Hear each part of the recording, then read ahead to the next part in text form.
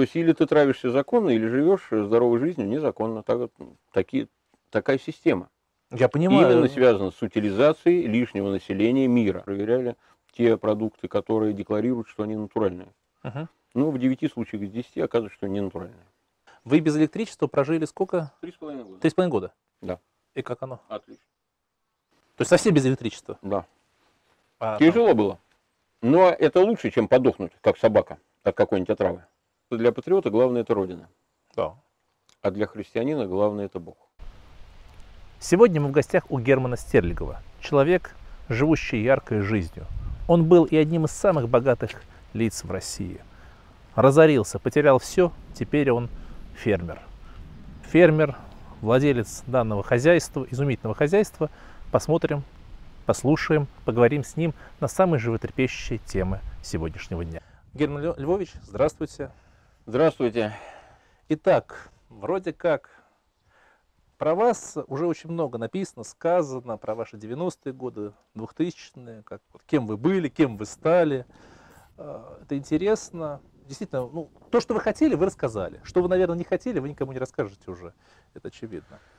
Слушайте, я должен сразу сказать и сообщить об этом телезрителям, и вы, я думаю, это подтвердите, что виновником нашей встречи является уважаемый человек Дмитрий Галочкин, Конечно. который, э, который облагодетельствовал меня двумя машинами дров. И говорит, Герман, надо дать интервью. Я говорю, Дмитрий, во-первых, э, из уважения к тебе, во-вторых, две машины дров. э, И, Спасибо вам. Поэтому будем и кратко. давайте выпьем за Дмитрия Галочкина натурального вина. С Каберне. удовольствием. с Не удовольствием. того пойла, которым поют в магазинах несчастных современников во всех странах мира, а настоящее каберне. Чистое сухое вино, где есть только один ингредиент – виноград. И ничего, кроме винограда. И подождите минуточку. Для того, чтобы букет был более незабываемым, главный сыродел Михей приготовил для гостей целую Ух головку ты, как она выглядит. годовалого сыра. Как он она год пролежал в темном сыром погребе и вызревал. И вот сейчас мы посмотрим, как он вызрел. Это, кстати говоря, всегда очень значимый и ответственный момент, потому что никто, ни один сыродел не знает, как созреет сыр. Потому что это живой процесс. Мгм. Иногда получается хорошо, Да. иногда плохо, иногда неожиданно, иногда по-другому, иногда как-то не знамо как. Но всегда это самый ответственный, самый такой трепетный момент разрезания головки сыра после годовой или даже более чем годовой выдержки. Да, с удовольствием посмотрим. Выращивания. Посмотрим, как он вырос. Сюда, обратите внимание, написано стерлинг, тавро, лошадь. Не очень хорошо видно, но сыр с тавро.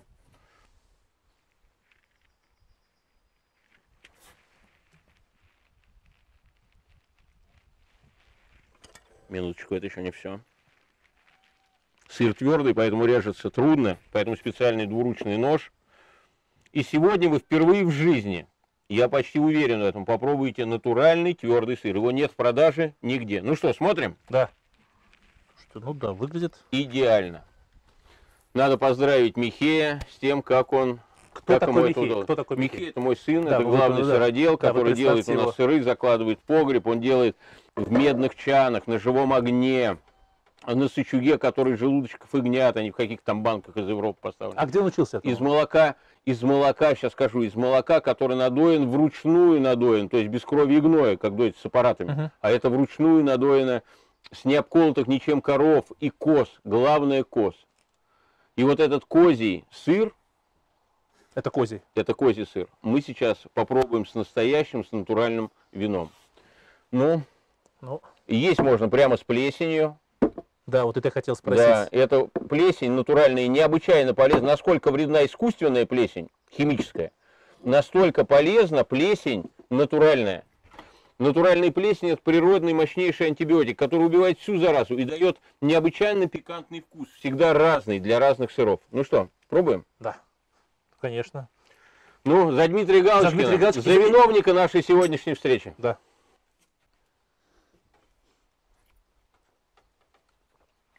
А вкусно? Если разумительно.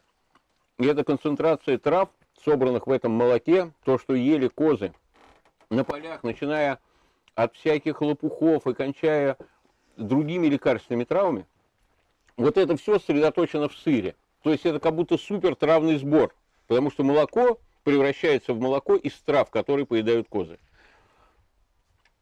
Ну и когда еще виноград настоящий, не опрысканный никакой химией, это именно с виноградника, который не знал никогда никакой химии. И прекрасный мастер делает вино путем естественного брожения. И вот этот букет, настоящий сыр настоящее вино, это то, чего лишены даже самые богатые люди в мире. Нигде не купить ни за какие деньги. Ни в каких Франциях и Швейцариях. Потому что там Евросоюз, нормативы всякой химии обязательно. Да. Ну, любое производство Да. да. оптовое, настроенное на продажу, а без химии жить не может. Ну, Вкусно, слушайте, реально вкусно. ну что ж, давайте перейдем теперь. Да теперь это как бы главное. Теперь вот- уже да, гла- те- теперь- главное закончено. Да, главное закончилось, да. Главное закончилось. Действительно, очень вкусно. Очень вкусно. И ярко выраженный запах. Вот, причем такой, ну, ос- какой-то особенный он. И очень вы почувствуете, какое послевкусие, какое самочувствие после этого. Потому что натуральный продукт чем отличается от химической отравы? Тем, как ты себя чувствуешь через, после того, как ты это съел.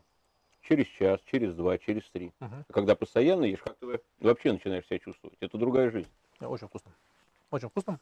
И это главное отличие. Не вкусовое, а вот то, что будет после. После будет вы одно обещали- сплошное удовольствие. Вы обещали рассказать, где ваш сын Михей этому научился.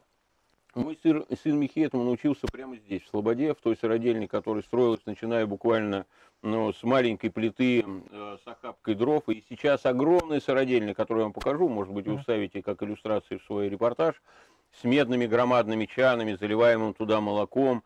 И все это уже в огромных печах, э, специальными такими мешалками делаются большие, не такие вот маленькие, как год назад, Мгм. а большие круги сыра, головки, которые мы тоже вам покажем в нашем подземном темном сыром погребе. Ну, как положено.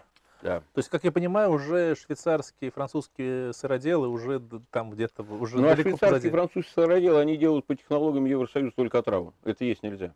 Вот все, что в бутиках лежит, это отрава на искусственном сучуге там и так далее. Это нельзя кушать с обколотых коров. Это, ну, вот я когда говорю, употребляю слово быдло, я никого не хочу обидеть. Никого. Это, м, в этом есть смысловая нагрузка. Ну, конечно, слово-то может обидеть вообще. Да, но это слово обычно обижает, поэтому я стараюсь воздерживаться, это не всегда получается. Ну как можно назвать вот иначе несчастных, обездоленных людей, что их держат буквально за скотину, за быдло и скармливают им всякую отраву в сетях? Ну как еще можно вот сказать? Для того, чтобы м, встряхнуть людей, чтобы они поняли, что не надо там поотовариваться, что их травят. Просто травят, как крыс. А куда им обратиться? Ну, ваше хозяйство не обеспечит явно всех. Ну, э, слушайте, надо свои хозяйства создавать. Не надо никуда обращаться. Надо делать, как я, создавать свои хозяйства. И самый верный способ методологический для тех людей, которые не знают, как это делать, первое, что надо сделать, это приехать сюда, к моим детям, выросшим, к Сергию, и посоветоваться с ним, как действовать, Мгм. как инвестировать деньги, как создавать свое хозяйство, или как инвестировать в чужие хозяйства, как получать оттуда прибыль или продукты. То есть уже есть наработанные схемы. И нечего изобретать велосипед. Надо приезжать к Сергию, к моему сыну, к Пантелеймону, к Михею, к Арсению, к моим сыновьям и общаться на эту тему. А- Это зрителям может покажет, что это реклама моих сыновей, но мне чё, кого мне еще рекомендовать-то? Я Ну, это- рекомендую тех, вот кто я знаю, что они прекрасно разбираются в этих делах. А Вот пусть приезжают и общаются с моими тогда, сыновьями. тогда очевидно, очевидно следующий вопрос. А сельское хозяйство это так выгодно? Ну, конечно, это жизнь и здоровье. В жизни и здоровье насколько это выгодно ли? Вот вы говорите людям, инвестируйте. Но выгодно ли быть здоровым? Ну, конечно, выгодно. Ну, выгодно, чтобы твои дети были Да, здоровыми. А к этому еще добавляются и деньги. Просто в первую очередь здоровье. Если говорить о материальном, не о духовном, Да. а о материальном. В первую очередь здоровье, а потом деньги. А если сначала деньги, то потом не будет никакого здоровья. Мгм. Если деньги на первом месте, тогда жертвуешь здоровьем своих, своих детей. А здесь в первую очередь здоровье. Но плюс к этому, при- следующим пунктом приплюсовываются и деньги. Потому что когда инвестируешь в те хозяйства, которые производят натуральную продукцию, а именно этот процесс налаживает предводитель Российского крестьянского собрания, мой сын Сергий, э, с братьями, э, и тогда получаются еще и деньги, как довесок.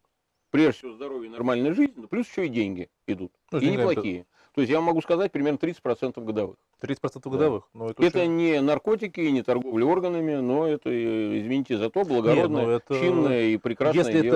это Да. твердые 30%, но это гораздо лучше, это чем- иногда больше, чем 30%, иногда меньше, чем 30%. Это зависит от удоя коз, это зависит от года, от сенокос какой и так далее. То есть это не банк. Это не то, что там где-то на калькуляторе кто-то там на компьютерах что-то там выбивает всякие схемы на, на бирже.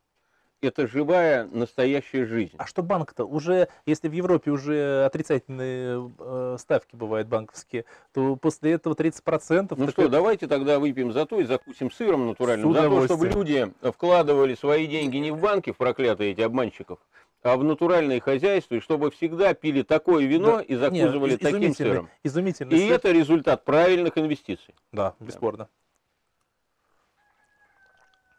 М, Вкусный сыр, реально. Ну, вообще, людям, которые лишены натуральных продуктов, мне кажется, им даже интересно посмотреть, как люди едят натуральные продукты. Потому Бесспорно. что ведь это такая большая редкость, увидеть, что люди едят натуральные продукты. На это можно и посмотреть минут 15. Может быть, вполне. Да. Так я не, не отрицаю этого, действительно. Потому что... Выражение лица, э, глаза, Нет, это там, это как зеркало души. И это Вкусно, все, да, вкусно. видно, что это не обманешь, это очень круто. Вкусно, да, вот вкусно.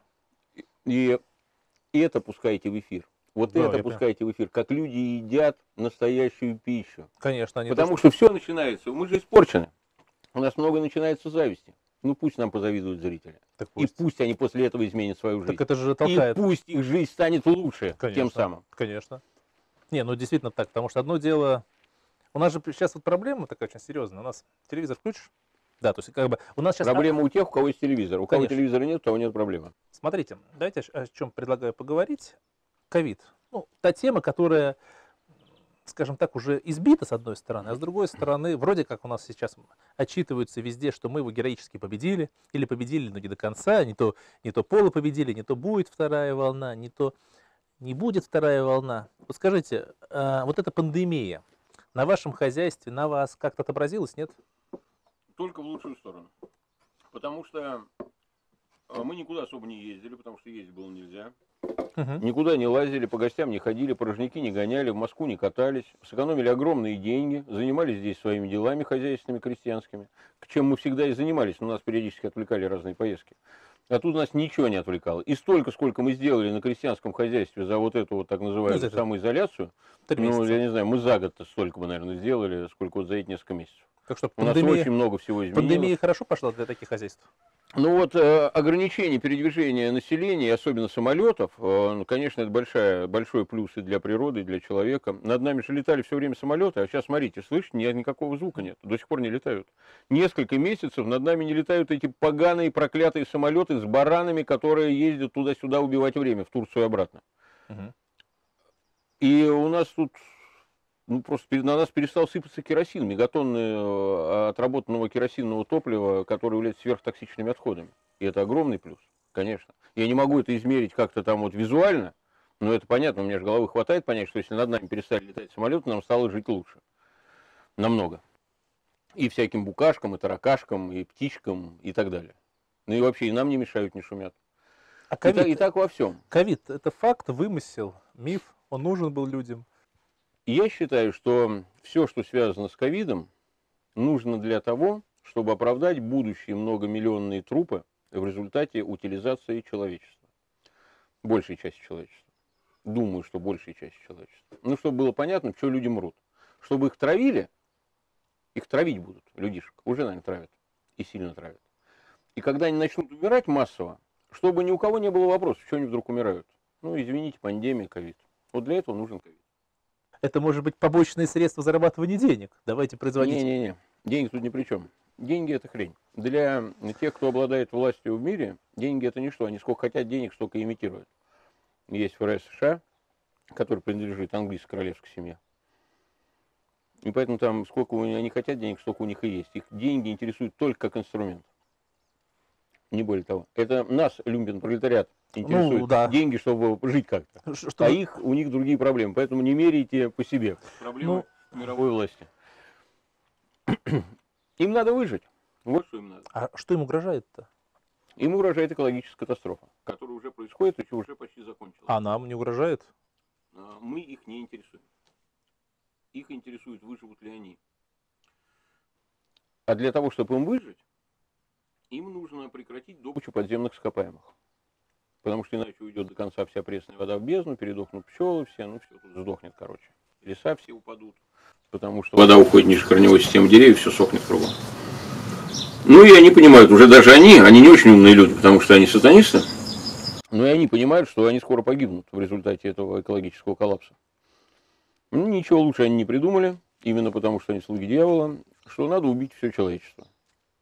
И останется тогда английская королевская семья и несколько миллионов обслуги на британском острове. Может быть, больше народу останется. Может, они планируют большее количество. Ну, можно предполагать только, какой про- процент населения мира они хотят оставить живых, для того, чтобы была снята эта проблема. И вот для этого нужна утилизация. Утилизация не через ковид, а через всякую отраву, которая уже давно идет утилизация.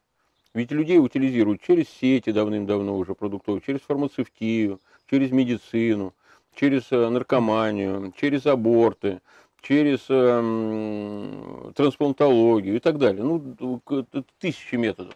Бухло там всякое, пьянство и так далее. И, э, ну, это медленно. Вода уходит быстрее, пчелы дохнут быстрее, чем идет вымирание человечества. И поэтому власти мира понимают, что если такие темпы сохранятся, то сначала они все сдохнут, Мгм. а потом только будет эффект от э, утилизации. И поэтому решили ускорить утилизацию. Вот и все. Я думаю, логика примерно такая. Ускорить утилизацию, дать более мощные дозы яда. Ну, сейчас вы покупаете условно гречку в магазине. Ну да. Там она опрыскана, ну, к примеру, фосфином. Ну, и, Ну да. может, не фосфином, другими Ну чем-то, да. На- на чем-то. что- м, И это вредно для здоровья. Ну, понятно, что не полезно. И люди от этого болеют раком, диабетом там, и так далее. А таких продуктов они покупают сотни всяких разных наименований. И все обработано. Потому что английская королева дает указание, например, э, алтайскому производителю гречки э, травить... э, Да, именно так. Просто это происходит через, не напрямую, как бы, естественно, Ну, а- конечно. а через Британскую академию наук. Она вырабатывает нормативы для Академии наук как филиалов по всему миру. Академия наук контролирует э, Роспотребнадзор и все прочее, каким образом это происходит. Ну, в общем, по большому счету, да, английская королева дает алтайскому производителю водную, чем он должен опрыскивать там свой какой-нибудь горох. Безусловно. Это все централизованно Получается, и происходит. все ученые э, из этой же логики э, служат им же. Ну, то есть, Да, и вы тоже служите Альбионом. им же, да. Конечно, потому что тот, кто правит миром, тому и служит весь мир. И это не важно, понимают люди это или нет. Ну, когда индейцы не понимают, кто на самом деле их там господин над их вождями, это ничего не меняет. Абсолютно. Есть, э, это даже так удобнее править. Поэтому вы сейчас подлежите утилизации, я так думаю. И я думаю, что вас утилизируют уже. То есть уже травят. уже утилизируют, я думаю, и, наверное, уже в обозримом будущем начнутся массовые, массовые смерти. Такие многомиллионные. это Он вот говорит, вот там вторая или третья волна ковида. Вы должны понять, это тоже очень важно, методологическое понимание, что в результате научного прогресса вы стали не нужны. Люди стали не нужны. Работает техника, компьютеры, там, оборудование, роботы. Чем больше роботизации, автоматизации, тем меньше надобность в людях. А потребители? Это же люди. Конечно, но они не нужны уже, понимаете? А покупать кто будет? Вот э, Ну, а за- цепочку замыкать. Да Зачем? Если цепочка вот таким образом продолжает замыкаться, тогда уничтожается природа. И тогда погибают элиты. Вместе с люмпен-пролетариями погибают элиты. Элиты это понимают. Я уверен в этом. И поэтому они люмпен-пролетариев пролетариев убирают. И вот эту вот глупости с потреблением, все, это закрыто. Обратите внимание, как несколько месяцев назад, когда началась вся эта бодяга с ковидом, всех перестало интересовать в мире потребление почему-то. Новый iPhone уже не Да, так интересно. Айфоны интересно, туризм закрываем, там э, нефть не нужна, все, ничего не надо. То насчет чего там бились Десятилетиями воевали. десятилетиями и воевали Мгм. до последней капли крови, с одного дня никому ничего не нужно. Ну, сделайте выводы. Это значит в прошлом. Сейчас другое, другая тема. Сейчас тема, кто выживет и как будут жить новое вот это вот маленькое человечество. Остальных на помойку. А государственные И- границы и- сохранятся? Нет? И вот эти, знаете, тех, кого хотят выкинуть на помойку, они жалобно взывают обычно как раз вот этим словом. А как же, мы же потребители, а как же потребление, мы же нужны для потребления. Ну, логично, да. Не нужны. Все. Вы больше не нужны. Понятно. Грустно. Это называется постиндустриальный период. Вот индустриальный период, это когда нужны были люди для гулагов, для коллективизации, для строительства норильских никелей, дорог, шахт, автобанов в Европе, концлагерей Гитлера и так далее. Нужны были людишки, чтобы все построить. Ну, да. Все построили. Теперь настройка, компьютеры и так далее, автоматизация, роботизация. Люди им все меньше и меньше нужны. А тут еще и наложились и экологические вопросы. Потому что от этих людишек они тут засирается вся планета. Потому что людишки не хотят же жить без научного прогресса больше. А мы избалованы этим Конечно. уже. Вот смотрите, тоже очень важный момент. Здесь же так не ответишь в двух словах. Комплексный вопрос. Большой такой, всемирный. Если бы люди были готовы прожить без эм, электричества, конкретно электричества, ну, как основа научного Да, прогресса, конечно. тогда бы вас не надо было утилизировать. Тогда бы вам бы вырубили электричество, вы бы разошлись в разные стороны из городов, и там копалками-копалками себе начали вот такие же грядки делать, как у меня, и у всех были бы крестьянские хозяйства. И сыр бы был такой, вино и так далее. И вы бы никому не мешали. И никто бы вас не убивал и не утилизировал. Но как только Англия вырубает электричество, они пробовали это делать, кидали пробные шары в Венесуэле, Аргентине, помните, вырубали в. Венесуэле электричество во всей стране, и смотрят на реакцию людей. Что делают люди? Люди чинят электричество. Получается, в момент, когда Англия вырубает электричество в одной из колоний или во всех колониях, Мгм. она теряет власть в этих колониях сразу же, в этот же день. Потому что власть мирового правительства электрическая. Через связь, через Мгм. компьютеры, через э, системы подавления, через транспорт. Нету электричества, ничего этого нету, и власть мировая сразу бам пропадает. Ее нету, как будто нету власти. А если власти нету, что делают люди, которых вырубили электричество? Они бегут чинить электричество. Генераторы запускают. Конечно, э, и чинят то, что поломали, чтобы быстрее у них было опять централизованное электричество. То есть, вдумайтесь, мировое правительство не имеет ресурса лишить вас электричества, потому что вы научились, как делать эту простую штучку, Ну, электричество уже часто это не, не самая большая, не самая сложная вещь. конечно, и поэтому ее любые индейцы починят, и поэтому вас можно только убить. Вы сами себя своей любовью к научному прогрессу, к электричеству, что вы без него жить не можете, приговорили себя к тому, что вас теперь только убить можно. Поэтому вас всех сейчас убивают. Мгм. Вот э, это важно понимать. Это геополитика. Это реальная, не придуманная телевизионная, а реальная геополитика. Вы сколько, насколько известно, это действительно уже из других интервью я подчеркнул, вы без электричества прожили сколько? Три с половиной года. Три с половиной года? Да. И как оно? Отлично. То есть совсем без электричества? Да. А, Тяжело было. Но это лучше, чем подохнуть, как собака, от какой-нибудь отравы. А у вас именно этот выбор. Такой выбор-то, знаете, да, либо... Ну вот поэтому там комфортно вам, некомфортно, удобно, Неудобно, неудобно. Это к- критерии уже не работают. Геополитика, вот это некая вот, вот такая вот э, надгосударственная структура, которая всеми управляет, и государственные границы. Как это соотносится? Это не некая структура. Это вполне конкретные люди, которых кого-то вы знаете, кого-то не знаете. Это система управления представляет в себе А кто это? уже упоминаемую мною Британскую академию наук, Мгм. называется Английское королевское общество. Это СИС, Secret Intelligence Service. Мгм. Это правительство Великобритании, которое правит всем миром. И это, конечно, английская королевская семья. И это вот те, кто правит миром. То есть э, и все ими их сателлиты. Да. Даже, мир, кстати, даже те, кто считает, что Вторая- это не так. Да, это не важно, кто что считает. Вторая английская империя была закончена ее строить, построение по учебникам английских школ в 1945 году. Победой над фашистской Германией. А Союз в 45-м тоже был э, колонией? Конечно. Союз э, с Александра Первого колонии, с Россией еще. С Александ- Александр Первый уже был вассалом Великобритании. Он Через давал, родственные, он- э, он давал вассальную клятву при вступлении в орден подвязки. М. Есть такой орден подвязки, куда входит 24 члена, если я не ошибаюсь. И там каждый дает вассальную клятву главе ордена подвязки английскому королю или королеве по должности. Ух, да что 17-й год наступил. Вроде А в как. 17 году... Клятвы аннулированы. А в семнадцатом году ничего не аннулировано. В семнадцатом году э, Гаушштейн-Гаторпы, так называемые Романовы, передали Россию в индустриальную концессию евреям. А сам Николай II уехал в Лондон и там правил до 1936 года, по вашему летоисчислению. Умер от эвтаназии в 1936 году. И он и оставался хозяином России, и дети его потом правили Россией. До сих пор дети правят Россией. Просто есть внешние управляющие, которые назначаются. Это называются выборы там, президентов или генсеков, или назначение Но генсеков. как же Путин наше все и, Путин тоже э, назначен в Лондоне. и ничего не может сказать против? Ну, я не знаю, там, в какой степени он может сказать против. Он, видимо, пытался что-то говорить э, против или делать против. А насколько чего получится, у условного Путина. Мгм. Я понимаю, э, Да, я бы образ. так сказал, у условного Путина, у его команды. Я могу только как на скамье болельщиков, на скамейке болельщиков, болеть за них. Так там, Да. Ура, ура, ура, Россия, Россия, Россия.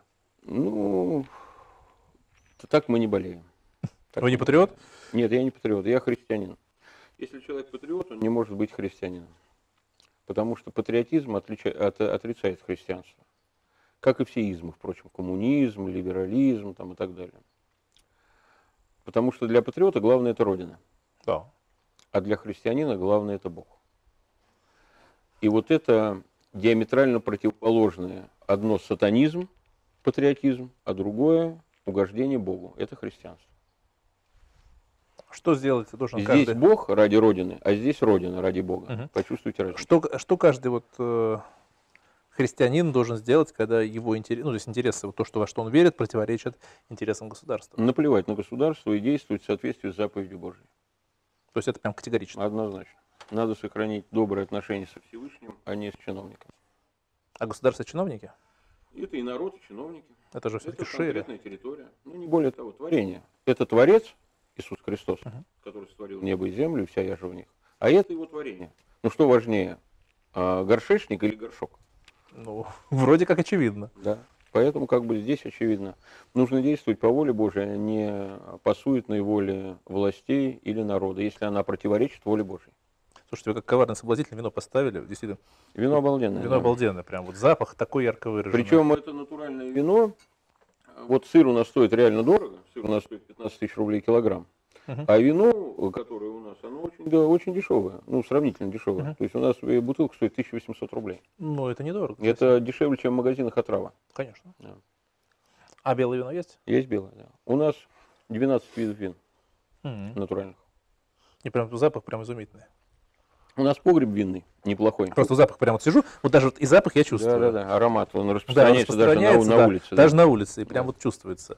Поэтому Ну, Так что винный погреб не то, чтобы у нас очень хороший, но неплохой. И поставщики проверены Комитет продовольственной безопасности, что никакой химии, ничего нет. Комитет продовольственной безопасности. Это структура, которую создал предводитель Российского христианского собрания Сергий, вот которому я предлагаю всем приезжать, советоваться, как создавать Мгм. за новое хозяйство, куда вкладывать деньги по этому поводу. А, И он создал 6 лет назад Комитет продовольственной безопасности, возглавил тоже мой сын Арсений, Мгм. чтобы не были исключены вообще всякие виды коррупции. И они проверяют, ездят по всей стране и по всему миру, вот до ковида ездили, проверяли те продукты, которые декларируют, что они натуральные. Мгм. Ну, в 9 случаях из 10 оказывается, что не натуральные. Ну, в одном из 10 случаев оказывается натуральный. И вот это мы как раз и кушаем. То, что у нас самих нет, допустим, какао-бобов из Эквадора, Ну, по- мы понятно. привозим из Эквадора контрабандой. Потому что натуральные бобы невозможно привести законно. Они обрабатываются фосфином, который я упоминал. А без них провести? А, э, А Роспотребнадзор, без них только... Ро- Роспотребнадзор не разрешит? Да, а без них только незаконно. То есть или ты травишься законно, или живешь здоровой жизнью незаконно. Так, такие, такая система. Я понимаю. Именно связано с утилизацией лишнего населения мира. Это не с Россией связано, это со всем миром. Это делает Лондон. Кстати, а вот сейчас, э, Кстати говоря, это тоже важный момент. я бы задумался, Это просто- как раз противоречит патриотизму. Патриотизм – это освобождение от власти иностранного ига там и так далее, и так далее. Это суверенитет страны. Конечно. Это тому же самому учили, того же самого требовала партия фарисеев в Древнем Израиле. Это была партия патриотов. Мгм. Ну, такие национал-патриоты. Это фарисеи. Обычно фарисеи в другом смысле. Люди почему-то там типа лицемеры и так далее. Но они и лицемеры были Ну, это термин просто Да. уже перешел. Да, ну, да. и это партия патриотов Древнего Израиля. И когда Господь Иисус Христос учил в Израиле и три с половиной года проповедовал, это входило в противоречие с патриотизмом фарисеев. Потому что он не говорил об освобождении от власти Рима. Он говорил о Царстве Небесном. Он не говорил о том, что Израилю надо воцариться над всем миром Мгм. и получать дань. Ему это было безразлично. Он говорил, спасайте души свои. И фарисеев это ломало, потому что они говорили, что главное, придет Мессия, а вот он пришел. И этот Мессия освободит Израиль от власти Рима. А тут пришел Мессия, И и говорит, про да, Рим вообще ни да- слова. да ему это за- Да, ему говорят, даже вон Кинсон, принесите мне, вот к чего там изображение кесаря, отдайте кесареву кесарева, а, Божий Богове. Его распяли, потому что он, он стал опасен, в том числе поэтому.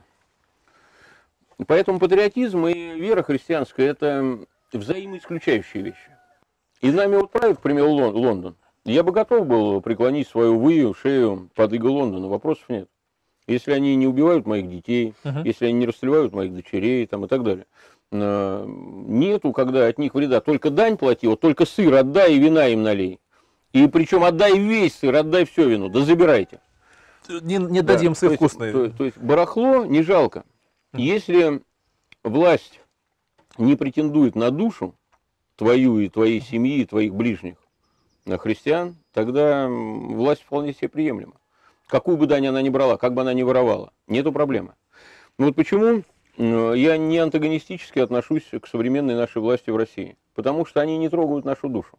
Вот говорят, они там воруют. Да пусть воруют. Чем больше они своруют, тем меньше построят заводов, самолетов и так далее, там пароходов, и меньше будет загажена окружающая среда, и нам будет жить легче. Поэтому вообще им за это воровство нужно памятники ставить. Хотя нет, памятники не надо ставить, это идолы. Это образно. Я понимаю, это образное Да. И, ну, но мы должны быть благодарны им. Чем больше они разворуют тех средств, которые отведены на загаживание Мгм. окружающей среды, тем лучше. Они не дают нам воспитывать детей, все, и все эти годы давали, как мы хотим. То не, не хочешь отдавать детей в школу, да не отдавай. Там не хочешь давать им всякое там дурное образование, не давай, никому дела до То этого есть, по сути, они дают свободу. да, это и есть свобода. Это и есть настоящая свобода. Они забирают у нас деньги, там, они не дают нам где-то заработать, они там лопают в одну харю. Да ладно, хрен с ними, пускай лопают. Это не самое главное. Не, не с голоду не умрем. Он можно заработать и, э, в любых условиях. Но они нас не трогают. Они по-пацански, так вот, по-питерскому, знаете, вообще ведут себя нормально. То есть нету беспредела. То есть живи, живешь себе и живи. И- давай другим жить. Да, и давай другим. жить. А Лондон не дает нам жить. Вот в этом проблема. Лондон не дает нам жить. А вот сейчас, которые события, да, я- мы все знаем, что вы не смотрите телевизор, но тем не менее вы же о новостях в мире так иначе наслышаны, по крайней мере, такие там друзей, знакомых. Вот сейчас пошли буквально последние месяцы, вот началось в США, вот эти волнения цветных. В Лондоне это хотят там снести памятник Черчилля там и так далее, его там разукрашивают. Там. То есть э, это что? Английское правительство ошиблось? Сделало ставку не на тех? Либо дают людям возможность, исходя из- этой же логики, просто выпустить пар. Я думаю, скорее вот это последнее предположение. Это отвлечение внимания от серьезных проблем. Как целуют неграм ботинки, там это, это очень увлекательная процедура. Ну, это как-то И все странно, смотрят, да, это обсуждают. Вот потому что время. и тот, кто не поцеловал, и уже как героя воспринимают того, кто стал и не стал целовать ботинки. А, тех, кто вне системы, сложно утилизировать.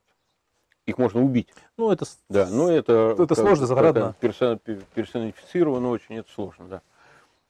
А те, кто в системе, это они легко утилизируем. Уже каналы утилизации давно налажены через вот эти все привычные вещи от продуктов до лекарств. Потому что мир не спастись, получается. М, Тем, кто останется в системе, не спастись. Не спастись. И вот эти вот попытки защитить, как вы говорите, там людей, ну а как вы их защитите? Вы их никак не защитите. Невозможно защитить человека, который не хочет, чтобы его защитили. Ему говорят, не жри из сетей, уже 20 лет. Вот я говорю. Мгм. Ну и что, у меня родня как жрала из сетей, так и жрет. Ну и что и поменялось-то? Их травили медленно, сейчас потравят побыстрее. Ну вся разница. А, скажите, пожалуйста, э, Герман Львович, э, мир, АРПЦ, Ну, одна, одна из, э, элеме- одно из элементов сатанинского шоу-бизнеса – поддел, подмена церкви. Отдел ЦК КПСС по работе с верующими. До этого отдел Министерства и, российских властей безбожных, ну, дореволюционных. С 1597 года РПЦ в Ересе. До 1597 года это была настоящая христианская церковь. А после этого подделка. Ну, называется, впадение Мгм. в ересь произошло. то есть вся, все РПЦ, все одни еретики. Да. Одни еретики. Э, Кто это может спросить, а может найти там батюшку где-нибудь там в деревне, который искренне верует? все, кто из какой чаши причащаются, те к тому и имеют отношение. Если из еретической чаши, чаши причащаешься, то причащаешься скверной, а не телом и кровью Христа. Если богословски отвечать, то это вот так.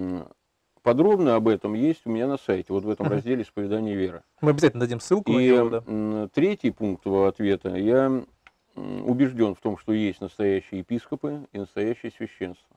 И мы молим каждый день Бога, чтобы Он даровал нам знакомство с ними, чтобы мы могли покреститься, чтобы они нас причастили.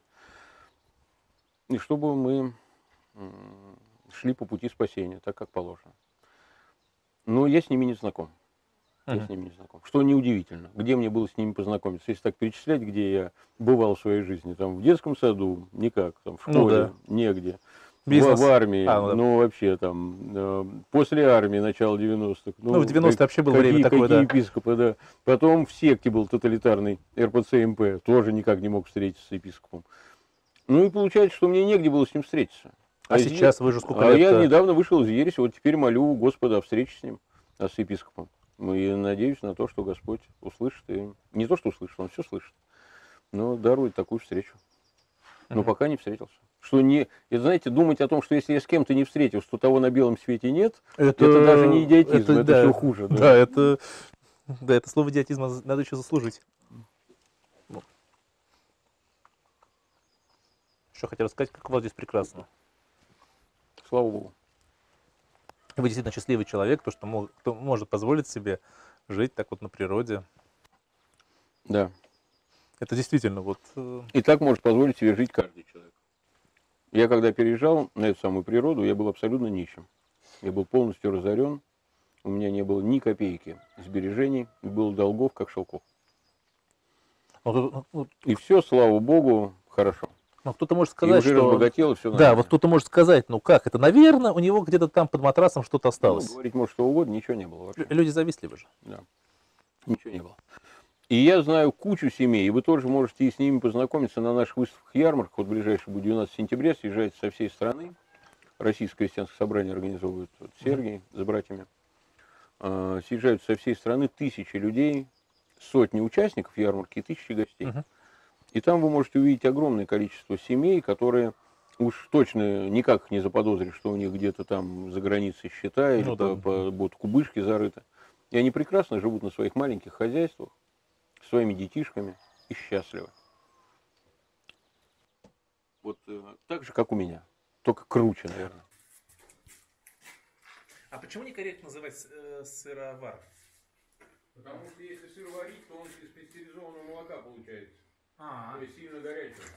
А сыр он сырой должен быть. И э, почему делают пастеризованное молоко? Потому что доят доильными аппаратами, а там всегда кровь и гной подсасывают. И чтобы люди сразу не травились, пастеризуют молоко, и получается сыровар. У мира-то шанс спастись есть? На спасение дело персональное.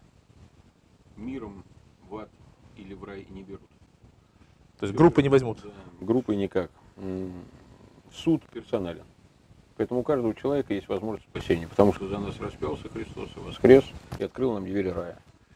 И каждый человек может туда зайти. Двери открыты. Кто не хочет, тот идет в ад.